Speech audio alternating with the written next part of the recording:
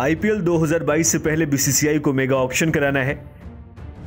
Mega auction को पहले दिसंबर के आखिरी और जनवरी 2022 के पहले सप्ताह में आयोजित होने की उम्मीद थी।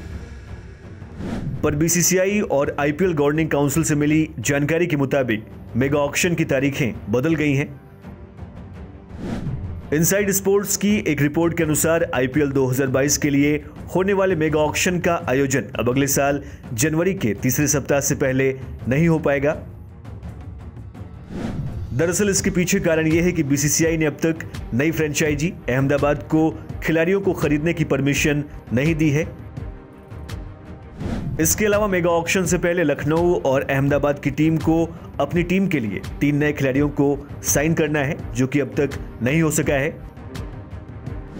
ऐसे में नीलामी में ही काफ़ी समय लगेगा, जिसके चलते आईपीएल 2022 के लिए होने वाला मेगा ऑक्शन जनवरी के तीसरे और चौथे सप्ताह से पहले नहीं हो पाएगा।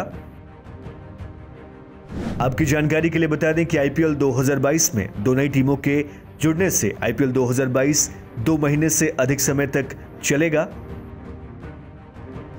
इस बार आईपीएल में सभी दस टीमें 14-14 मैच खेलेंगी, जिसमें सात अपने होम ग्राउंड और सात मुकाबले विपक्षी टीम के मैदान पर खेले जाएँगे।